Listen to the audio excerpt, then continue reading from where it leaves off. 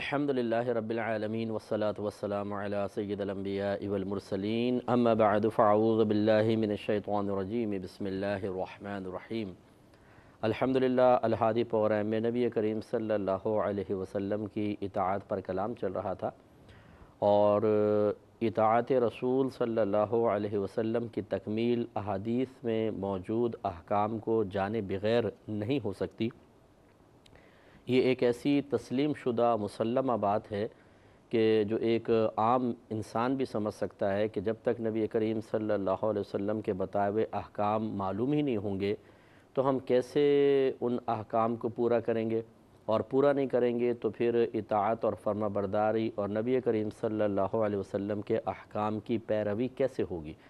تو اس لیے ضروری ہے کہ ہم احادیث مبارکہ کا مطالعہ کریں اور ان احکام کو جانیں جو نبی کریم صلی اللہ علیہ وسلم نے ہماری طرف متوجہ فرمائے ہیں۔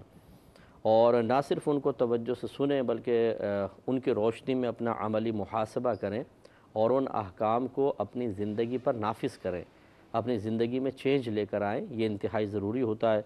اور لیکن اگر ہم ایسا نہیں کرتے ہیں، احکام جانتے نہیں ہیں، ان کے تقاضے کے مطابق عمل نہیں کرتے ہیں اور اپنے بچوں میں ان کے عمل پیرا ہونے کے بعد اچھے اثرات منتقل نہیں کرتے ہیں، تو پھر ہماری ذات میں، پھر ہماری ذات کے ذریعے گھروں میں اور گھروں کے ذریعے محلوں میں اور محلوں کے ذریعے پورے شہر میں اور شہروں کے ذریعے پورے ملک میں گندگی پھیلتی ہے، فساد پھیلتا ہے، بے عملی اور بے رونقی اور روحانیت کی کمی اور اسی طریقے سے ایک عجیب سی نحوست ہوتی ہے جس کی بنا پر انسان اللہ تعالیٰ اس کے رسول کریم صلی اللہ علیہ وسلم سے دور سے دور ہوتا چلا جاتا ہے۔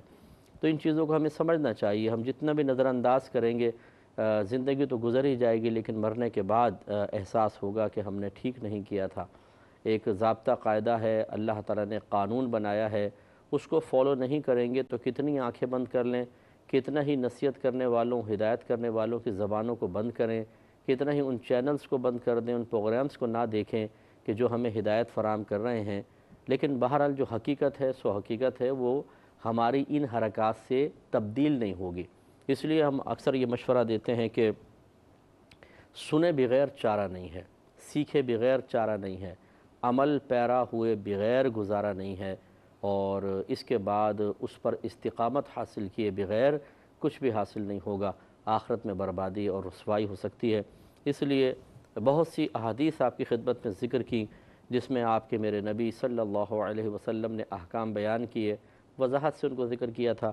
پچھلے پروگرام میں ایک حدیث شفاعت ذکر کی تھی، جس میں بظاہر کوئی کسی حکم کا بیان تو نظر نہیں آتا، لیکن میں نے اس نیت کے ساتھ اس کو ذکر کیا کہ بہرحال عقائد کا اختیار کیا جانا بھی صحیح عقائد کا یہ اطاعت رسول کے زمرے میں ہی آتا ہے، کیونکہ ہمارے آقا صلی اللہ علیہ وسلم نے جو آخرت کے بارے میں عقائد ذکر کیے، جو واقعات بیان کیے ہیں، جن چیزوں کی خبر دی ہے سمجھ لیں کہ ان پر عقیدہ رکھنا، اس عقیدے کو اختیار کرنا، ان پر یقین رکھنا، یہ ہمارے لیے لازم ہوتا ہے۔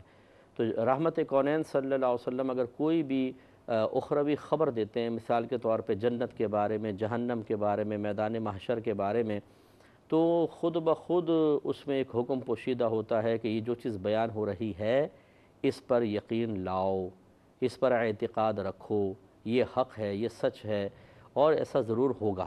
تو ایک امتحان ہوتا ہے اور اسی امتحان میں ہم نے دیکھا ہے کہ بہت سے لوگ فیل ہو جاتے ہیں۔ جیسے مثال کے طور پہ بہت سے شفاعت کے منکر آپ کو نظر آئیں گے کہ نہیں، بس اللہ تعالیٰ ہی کرے گا، میدان معاشر میں کسی کی شفاعت نہیں ہوگی۔ حالانکہ یہ بیوقوفوں کی سی بات ہے۔ قرآن شفاعت کا کی خبر دے رہا ہے۔ احادیث مبارکہ میں نبی کریم صلی اللہ علیہ وسلم نے خود شفاعت کے بارے میں بیان کیا ہے۔ اسی طریقے سے احادیث موجود ہیں کہ رمضان شفاعت کرے گا، قرآن شفاعت کرے گا۔ صورت الملک اللہ تعالیٰ کی بارگاہ میں جا کے اپنے پڑھنے والے کی سفارش کرے گی۔ ایک حافظ قرآن جو باعمل ہو، اپنے خاندان میں سے دس ایسے افراد کی شفاعت کرے گا جن پہ جہنم واجب ہو چکی ہوگی۔ یہ اتنی روایت بکثرت موجود ہیں، پھر شفاعت کے انکار کرنا اور یہ کہنا کہ جی میدان معاشر میں کوئی کسی کی شفاعت نہیں کرے گا، سفارش نہیں کرے گا، یہ غلط ہے۔ اور پھر ان تمام احادیث کو نظر انداز کر کے جو جس شفاعت کا انکار اللہ تبارک و تعالی نے کفار کے حق میں کیا ہے کہ ان کے لیے کوئی سفارشی نہیں ہوگا، وہ ایک دوسرے کی سفارش نہیں کر سکیں گے، اس کو یوں پیش کرنا کہ جیسے یہ مسلمانوں کے بارے میں کلام ہے۔ جیسے اس میں نبیوں کو خطاب کیا گیا ہے، جیسے اس میں صحابہ کرام یا اولیاء اعظام یا علماء اسلام کے بارے میں بیان ہوا ہے، یہ بڑی حماقت کی بات ہے۔ اللہ تبارک و تعالیٰ نے اپنے حبیب کریم صلی اللہ علیہ وسلم کو شفاعت کبرا کا انعام عطا فرمایا اور اس کے بعد عام شفاعت بھی ہے۔ شفاعت کبرا یعنی بڑی شفاعت کا مطلب یہ ہے کہ جو اس حدیث میں جو میں نے ذکر کی تھی کہ سب سے پہلے لوگ پریشان ہوں گے میدان معاشر میں اور حساب کتاب شروع نہیں ہو رہا ہوگا، گرمی، بھوک، پیاس ہوگی اور حیبت ہوگی، بہت پریشان ہوں گے تو آپس میں مشورہ کریں گے۔ وہ کسی سے چلتے ہیں، سفارش کرواتے ہیں کہ جو کم از کم کارروائی شروع کروائے۔ تو نبی کریم صلی اللہ علیہ وسلم سب سے پہلے اللہ تعالیٰ کی بارگاہ میں سجدہ ریز ہوں گے لوگوں کی یعنی، درخواست پر اور پھر یہ حساب کتاب کا سلسلہ شروع ہوگا۔ تو اس کا مطلب یہ ہوا کہ یہ پہلی شفاعت ہوگی، سرکار، سفارش ہوگی۔ جو اللہ تعالیٰ کی بارگاہ میں ہم لوگوں کے لیے یعنی تمام لوگوں کے لیے ہوگی۔ اور یہ وہ شفاعت ہوگی جس سے مسلمان بھی ایک طرح کا حز اور نفع یا سکون حاصل کریں گے اور کافر اس سے کہیں زیادہ کریں گے۔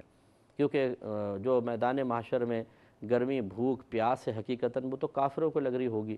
اور وہ ایک حدیث میں موجود ہے کہ نبی کریم صلی اللہ علیہ وسلم نے شاد فرمایا کہ بروز قیامت اس قدر گرمی اور بھوک پیاس ہوگی کہ لوگ تمنا کریں گے کہ کاش ہمیں جہنم میں ڈال دیا جائے، لیکن اس عذاب سے بچا لیں یعنی اتنا میدان محشر میں سخت ترین معاملہ ہوگا۔ تو جب رحمت کونین صلی اللہ علیہ وسلم سفارش فرمائیں گے اور حساب کتاب کا آغاز ہوگا، تو ایک لمحے کے لیے سکون تو کافر کو بھی ملے گا۔ اس کا مطلب ہے کہ شفاعت کبرا ایک ایسی شفاعت ہوگی کہ جس سے کچھ نہ کچھ حصہ اور کچھ نہ کچھ نفع اور حز یعنی مزہ، لذت یہ کافر بھی حاصل کریں گے۔ نبی کریم صلی اللہ علیہ وسلم چونکہ سب سے پہلے شفاعت کے دروازہ کھولیں گے، اس لیے اس کو شفاعت کبرا، بڑی شفاعت کہا گیا۔ اور یہ اختیار صرف نبی کریم صلی اللہ علیہ وسلم کو اللہ نے عطا فرمایا۔ جیسے کہ اس میں آپ نے دیکھا کہ لوگ آدم علیہ السلام کے پاس گئے، پھر نو علیہ، ان کے ان کے کہنے پر نو علیہ السلام کے پاس ابراہیم علیہ السلام پھر حضرت موسیٰ علیہ السلام، عیسیٰ علیہ السلام کے پاس اور انہوں نے پھر بھیجا رحمت کونین صلی اللہ علیہ وسلم کے پاس اور پھر سرکار سجدہ ریز ہوئے ہیں اور آپ نے اللہ تبارک و تعالیٰ کی بارگاہ میں عرض کی ہے، سفارش کی ہے۔ تو اس کو بہت تھوڑا سا کلام مزید کرتے ہیں اور میں اس میں چند نکات آپ کو ذکر کرتا ہوں۔ اور اس میں پھر عقیدہ کیا ہے وہ بالکل مضبوطی کے ساتھ تھام لینا ہوگا۔ تو راوی کہتے ہیں کہ ہم ایک دعوت میں رسول اللہ صلی اللہ علیہ وسلم کے ساتھ تھے تو آپ کی طرف دستی کا گوشت بڑھایا گیا اور آپ کو یہ گوشت پسند تھا تو آپ اسے نوچ کر کھانے لگے یعنی دانتوں سے جیسے نوچ کر تناول فرمانے لگے۔ تو یہ اس میں تو ضمن ایک بات ہے، وہ لے لیتے ہیں کہ نبی، گوشت کھانا نبی کریم صلی اللہ علیہ وسلم کی سنت کریمہ ہے، خصوصاً بکری کا، کیونکہ نرم گوشت ہوتا ہے اور زود ہضم ہوتا ہے، جلدی ہضم ہو جاتا ہے یعنی ہضم کے اعتبار سے آسان ہوتا ہے اور اس میں توانائی بھی ہوتی ہے۔ خصوصاً جو سامنے کی دستی ہوتی ہے اگلے دو پیر ہوتے ہیں، اس کا گوشت زیادہ نرم ہوتا ہے۔ اس کا مطلب یہ ہوا کہ گوشت کھانا یہ انبیاء علیہ السلام کا طریقہ اور سنت رہی ہے اور اس میں کوئی عیب کا پہلو نہیں ہے۔ جیسے کہ بعض لوگ ہوتے ہیں کہ اگر کوئی عالم دین ہے، مفتی صاحب ہیں، کوئی پیر صاحب ہیں اگر وہ کسی تقریب میں گوشت کھا رہے ہوں تو اشارہ کیا جاتا ہے، دیکھو یہ گوشت کھا رہے ہیں۔ نہیں لوگ یہ سمجھتے ہیں کہ کسی بزرگ کی بزرگی کی علامت یہ ہے کہ وہ ساری زندگی گوشت کو ہاتھ نہ لگائے، سبزی کھائے، دال کھائے تو کہیں گے کہ بھئی نفس کو مار رہے ہیں۔ حالانکہ گوشت کھانے میں نفس کی اطاعت کا کوئی پہلو نہیں ہے، نہ چھوڑنے میں کوئی نفس کشی پوشیدہ ہے۔ یہ یعنی اس میں یہ کوئی، اس کے علامات نہیں ہیں ایک انسان دال کھاتا ہے اور بالفرض وہ صرف ریاکارانہ طور پہ کھا رہا ہے تاکہ لوگ یہ کہیں کہ بھئی یہ تو نہ گوشت کھاتے دیکھا نہ سبزی، بس دال کھاتے رہتے ہیں۔ یہ بڑی بات ہے۔ تو آپ بتائیے کہ اس میں کوئی نفس کو مغلوب کرنے کا پہلو ہے؟ ہرگز نہیں ہے، بلکہ یہ تو ریاکاری ہے، اداکاری ہے، دوسروں کو متاثر کرنا اور اس کے لیے جبر اختیار کیا جا رہا ہے کہ چلو اگر توانائی نہیں پہنچے گی پیٹ میں تو کم از کم لوگوں میں جھوٹی عزت تو حاصل ہوگی، ایک وقار تو حاصل ہوگا، بزرگی تو بنے گی۔ اور پھر ایسے لوگوں کو اکثر دیکھا کہ لوگوں کے سامنے دال اور تنہائی میں جا کے بڑے بڑے مال کھاتے ہیں۔ تو ایسی اداکاری کا کیا فائدہ؟ تو اس لیے یہ اچھی طرح یاد رکھیں کہ اگر کوئی گوشت کھا رہا ہے تو یہ ضروری نہیں ہے کہ ہم اس کو یہ ثابت کرنے کی کوشش کریں کہ یہ نفس مغلوب ہے۔ حضرت غوث اعظم رضی اللہ تعالیٰ عنہ کا واقعہ تو بڑا معروف ہے کہ وہ بڑھیا نے جو اپنا بچہ آپ کی صحبت میں بھیجا تو کہ جس کی تربیت کر دیں تو کچھ عرصے بعد آئی تو دیکھا کہ بچے کے ہاتھ میں جو کی روٹی ہے اور سیدنا شیخ عبد القادر جیلانی رضی اللہ تعالیٰ عنہ مرغہ کھا رہے ہیں۔ تو ماں تھیں کہنے لگی واہ شیخ، آپ خود مرغہ کھا رہے ہیں اور میرے بیٹے کو آپ جو کی روٹی کھلا رہے ہیں، اس کی حالت تو دیکھیں۔ تو آپ مسکرائے اور آپ نے جو مرغہ کھایا ہوا، رکھا ہوا تھا، ہڈیاں وغیرہ تھیں صرف، اس کو فرمایا، قم بِإِذْنِ اللہ اللہ کے حکم سے کھڑا ہو جا۔ تو دیکھتے دیکھتے وہ جیتا جاگتا مرغہ بن گیا۔ تو آپ نے مسکرا کے فرمایا کہ جب تیرا بیٹا اس قابل ہوگا تو گوشت بھی کھائے گا۔ تو اس کا مطلب یہ ہوا کہ یہ گوشت کھانا کچھ دنیا کی نعمتوں سے، جائز نعمتوں سے لطف اندوز ہونا، یہ بزرگی کے خلاف نہیں ہوتا، منافی نہیں ہوتا۔ کاش یہ لوگ سمجھیں اور ذہن بنائیں۔ آپ کے سامنے کوئی پھٹے پرانے کپڑے پہن کے اور ایسی بس آ کے بابا بیٹھ جائے اور کھانے پینے میں بڑی احتیاطیں کرتا ہوا نظر آئے اور نہ نماز پڑھتا ہے، نہ روزہ رکھتا ہے، نہ زکوٰۃ دیتا ہے، گالیاں وہ بکتا ہے اور نہ غسل کے مسائل پتہ، نہ کسی چیز کے، لیکن ہم اس سے بزرگی فوراً عطا کر دیتے ہیں اور لیبل لگا دیتے ہیں اس پہ بزرگ ہونے کا۔ اس لیے کہ جی ہمارے سامنے کبھی گوشت نہیں کھایا، اچھی چیزیں نہیں کھاتے، منع کر دیتے ہیں۔ بھائی، ان چیزوں کا بزرگی سے کیا تعلق ہوا؟ اصل تو یہ ہے کہ آپ اللہ کی نعمت کھائیں، پئیں، اللہ تعالیٰ منع نہیں فرماتا، لیکن نفس کی اطاعت نہ کریں، نفس کی غلامی نہ کریں۔ نافرمانی میں اس کا کہنا نہ مانیں، شیطان کی بات نہ مانیں۔ فرائض، واجبات، سنن موقعہ پورے کریں، حرام مکرو تحریمی، اساعت سے بچتے رہیں۔ یہ میں نے اس کی پوری تفصیل کئی دفعہ آپ کو عرض کی ہے، تو آپ بزرگ ہیں۔ تو بہرحال عوامی سوچ اپنی ہوتی ہے، تو وہ اس اس حدیث سے سبق حاصل کریں کہ رحمت کونین صلی اللہ علیہ وسلم دعوت میں گئے ہیں اور بکرا کھایا ہے اور باقاعدہ نوش نوش کے لکھا ہے کہ کھایا ہے آپ نے ان اچھی طریقے سے رغبت سے آپ تناول فرما رہے ہیں۔ پھر میرے آقا صلی اللہ علیہ وسلم نے فارغ ہونے کے بعد فرمایا کہ میں قیامت والے دن تمام لوگوں کا سردار ہوں گا۔ تو یہ یہ ایک عقیدہ گویا کہ ذکر کیا گیا کہ ہم مانیں کہ ہمارے آقا صلی اللہ علیہ وسلم تمام لوگوں کے سردار ہوں گے اور تمام لوگوں میں انبیاء علیہ السلام بھی شامل ہیں۔ تو میرے آقا صلی اللہ علیہ وسلم کو اللہ تعالیٰ وہ سرداری اور بزرگی عطا فرمائے گا جو مخلوق میں کسی کو عطا نہیں کی گئی۔ یعنی وہ اب بھی حاصل ہے، لیکن اس کا اظہار دنیا میں ویسے نہیں ہوا جیسا کما حق ہونا چاہیے تھا، میدان معاشر میں ہوگا۔ اور دنیا میں کما حق ہو اس لیے نہیں ہوا کہ بہت سارے تقریباً تمام انبیاء علیہ السلام تو تقریباً کیا واقعی تمام انبیاء علیہ السلام تشریف لے گئے تھے۔ تقریباً کا لفظ میں نے اس لیے کہا کہ عیسیٰ علیہ السلام بعد میں آخر میں تشریف لائیں گے، اگرچہ بحثیت امتی کے آئیں گے لیکن نبی تو ہیں اور پھر ان کا وصال ہوگا۔ تو خلاصہ کلام یہ ہے کہ انبیاء علیہ السلام تشریف لے گئے۔ بہت سارے لوگ لاکھوں کی تعداد میں، کروڑوں کی تعداد میں سرکار سے پہلے وصال فرما گئے تھے، دنیا سے رخصت ہو گئے تھے۔ تو جو سرکار کو اللہ تعالیٰ نے بزرگی عطا فرمائی، وہ سب پر منکشف نہ ہو سکی۔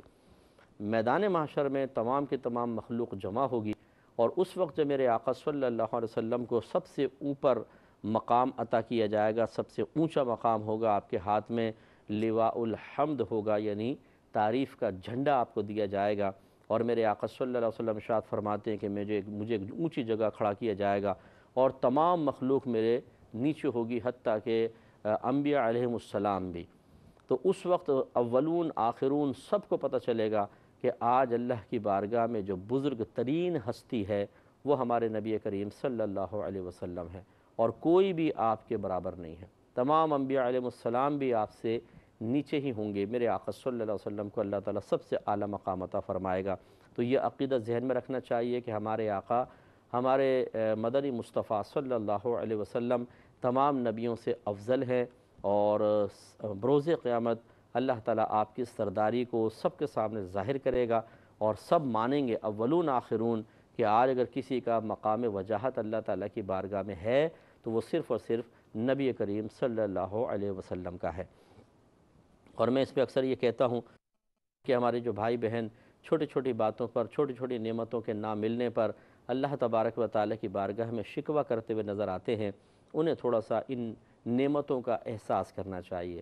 اگر اللہ تعالیٰ آپ کو پچھلی کسی امت میں پیدا فرما دیتا، چاہے مسلمان بنا کے پیدا کرتا یعنی مواحد اللہ کی توحید کا اقرار کرنے والا اور اس زمانے کے نبی پر ایمان لانے والا بنا کر بھیجتا، پیدا کرتا، پھر بھی آپ یہ دیکھیں کہ نبی کریم کے امتی کی جو عزت میدان معاشر میں ہوگی وہ آپ کو نہ ملتی۔ اور پھر اگر اللہ تعالیٰ چاہتا اپنے عدل و انصاف سے اسی امت میں پیدا فرماتا لیکن کسی کافر کے گھر میں پیدا کر دیتا تو دنیا کے تمام تر نعمتیں مل جاتی۔ مثلا آپ لمبے چوڑے بھی ہوتے، خوبصورت بھی ہوتے، رنگ بھی گورا ہوتا، آپ کو بظاہر دنیا میں طاقت بھی حاصل ہوتی، آپ سپر پاور ہوتے، مثال فرض کر لیں یا اس ملک سے آپ تعلق رکھتے اور وہاں پہ آپ کو ہر قسم کی آسائش ہوتی لیکن ایمان نہ ہوتا۔ نتیجہ کیا نکلتا کہ مرنے کے بعد یہ سارا حسن، یہ سارے جوانی، ساری دولت، یہ تو سب فنا ہو جاتی اور عذاب دائمی طور پر ہمیشہ ہمیشہ کا عذاب آپ پر مسلط ہوتا۔ لیکن اللہ تعالیٰ نے آپ کو مسلمان بنایا اور پھر نبی کریم صلی اللہ علیہ وسلم سے محبت کرنے والا بنایا۔ کوئی آپ کی بے ادبی کرنے والا نہیں بنایا، آپ کی نبوت کے انکار کرنے والا نہیں بنایا، آپ پہ تنقید کرنے والا نہیں بنایا۔ یہ بہت بڑے انعام ہیں جس کا اندازہ وہی کر سکتا ہے جو ان احادیث مبارکہ پر غور و تفکر کرتا ہے، جو نبی کریم صلی اللہ علیہ وسلم کے فضائل و کمالات پر مشتمل ہیں اور یا اس امت کی فضیلت، خود سرکار نے حدیثوں میں بیان کی ہے، تو پھر احساس ہوتا ہے کہ ہمیں اللہ نے بہت بڑی نعمت سے نوازا ہے۔ اگر آپ کے خاندان میں کوئی ایک بچہ بہت ہی ٹاپ پہ چلا جائے اور ورلڈ لیول پر کوئی کارنامہ سر انجام دے، جس کو ورلڈ لیول پہ سراہا بھی جائے، تو آپ کا سر فخر سے بلند ہو جاتا ہے۔ حالانکہ براہ راست اس کا اتنا کوئی فائدہ نہیں ہوتا، سوائے اس کے کہ لوگ آپ کی تعریف کرتے ہیں، آپ کو تعجب خز نگاہوں سے دیکھتے ہیں، شاباش ہوتی ہے واہ ہوتی ہے، لیکن ایک لطف ہوتا ہے۔ تو آپ سوچئے کہ ان نبی کے بارے میں آپ کیا کہتے ہیں کہ جن کی نسبت کی وجہ سے میدان محشر میں آپ کو تمام امتوں سے پہلے داخل جنت کیا جائے گا۔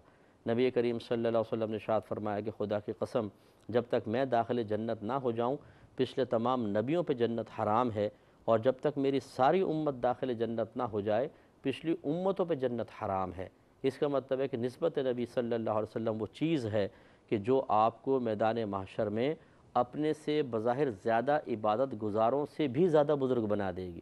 اس لیے اس کی قدر کریں اور شکوے نہ کیا کریں۔ واخر دعوانا الحمد للہ رب العالمین۔ میں بہک سکوں